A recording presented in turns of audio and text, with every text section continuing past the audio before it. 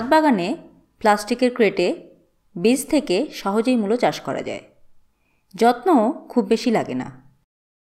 ফল বহন করার এই প্লাস্টিকের ক্রেটটির মধ্যে ভাঁজ করে রাখা এই প্লাস্টিকটির গায়ে আগে থেকেই অনেকগুলি ছিদ্র করে নেওয়া হয়েছে, যাতে অতিরিক্ত জল বেরিয়ে যেতে পারে ও মাটিতে বাতাস চলাচল করতে পারে। মূলোর বীজ বসানোর জন্য আমি পঞ্চাশ শতাংশ বাগানের মাটির সাথে তিরিশ শতাংশ পরিমাণ ভার্মিকম্পোস্ট আর কুড়ি শতাংশ পরিমাণ কোকোপিটের মিশ্রণ ব্যবহার করছি। এর সাথে নেব কিছু পরিমাণ করে হাড় গুঁড়ো, শিং চাঁচা এবং নিমখোল এই মিশ্রণটি উচ্চ জল নিকাশি ক্ষমতা সম্পন্ন এবং উর্বর। পাত্রটির পুরোটাই আমি মিশ্রণ দিয়ে ভরে নিয়েছি। এখন মাটির ওপরে মোটামুটি দুই থেকে আড়াই ইঞ্চি দূরে দূরে একটা করে দাগ কেটে নিচ্ছি। এগুলি মূলর বীজ। উন্নত মানের নতুন বীজ ব্যবহার করতে হবে। তাহলে ভালো ফলন পাওয়া যাবে। বীজগুলিকে আমরা আগে থেকে ভিজিয়ে রাখিনি। সরাসরি মাটিতে ছড়িয়ে দিচ্ছি। মোটামুটি সমদূরত্বে লাইন বরাবর বীজগুলিকে ছড়ানো হচ্ছে। এখন প্রশ্ন হতে পারে, এত কাছাকাছি বীজগুলিকে কেন ছড়াচ্ছি? আসলে সব বীজ থেকেই যে অঙ্কুরোদ্গম হবে, সেটি বলা যায় না। পরবর্তীকালে খুব কাছাকাছি হওয়া গাছগুলিকে সংগ্রহ করে মূলশাক হিসাবে খাওয়া হবে। একটু পরেই সেই বিষয়টি দেখাচ্ছি। এখন মাটির পাতলা একটি আস্তরণ দিয়ে বীজগুলিকে ঢেকে দিচ্ছি। জল দেওয়ার সময় যাতে বীজগুলি ভেসে এক জায়গায় না চলে আসে, তার জন্যই এই ব্যবস্থা। এবার ভালোভাবে জল দিয়ে দেব।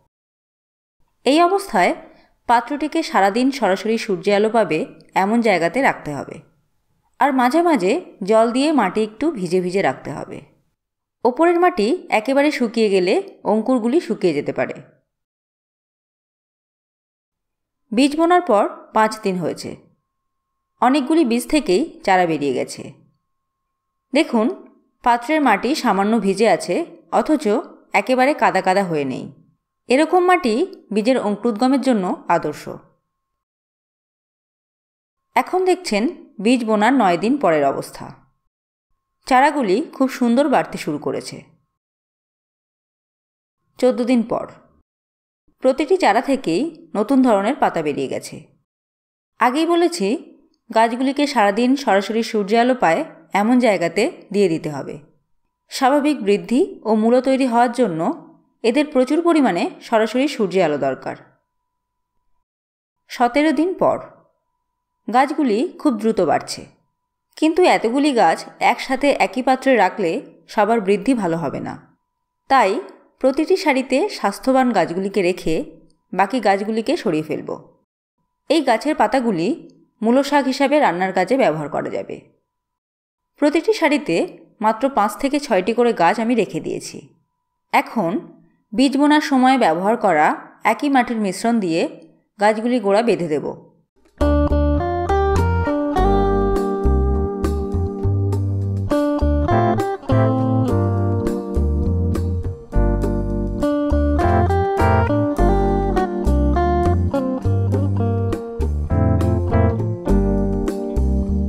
এবার জল দিয়ে দিচ্ছি।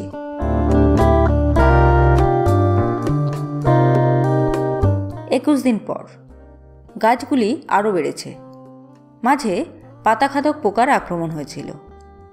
জৈব কীটনাশক নিম তেল স্প্রে করার পর আর পোকাগুলি দেখা পাওয়া যায়নি।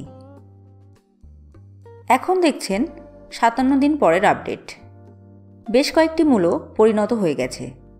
আজ কয়েকটিকে সংগ্রহ করে নেব। বীজ বোনা দুই মাসের মধ্যেই আমরা মূল্য সংগ্রহ করতে পারলাম। তাহলে দেখলেন কত সহজে ছাদ বাগানেই বীজ থেকে মূলো চাষ করা সম্ভব।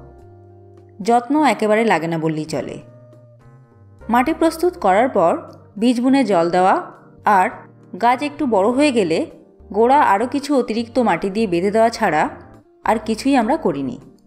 এছাড়া আর কোনো সারও এদের দেওয়ার প্রয়োজন হয়নি। আর সবথেকে বড় কথা, এগুলি সম্পূর্ণ জৈব উপায়ে প্রস্তুত। কোনো প্রকার ক্ষতিকারক রাসায়নিক সার বা কীটনাশকের ব্যবহার এতে করা হয়নি।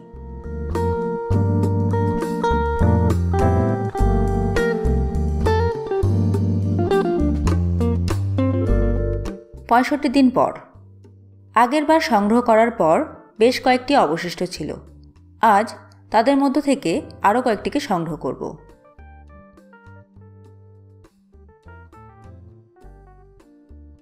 মূলগুলিকে দেখে কোনো অবস্থাতেই বোঝার উপায় নেই। এগুলির চাষ মাটিতে নয়, ছাদ বাগানে একটি ছোট্ট পাত্রের মধ্যে করা হয়েছে। শুধুমাত্র একটি কথা বলার বাকি থেকে গেল, সেটি হলো জল দেওয়ার সঠিক নিয়ম। প্রতিটি ভিডিওতে যা বলে থাকি, সেই একই পদ্ধতি। জল দেওয়ার আগে মাটি পরীক্ষা করে নিতে হবে। পাত্রের ওপরে মাটি শুকিয়ে আসতে দেখলে তবেই জল দিতে হবে। তাহলে এবার ছাদ বাগানে মূলো চাষ করছেন তো?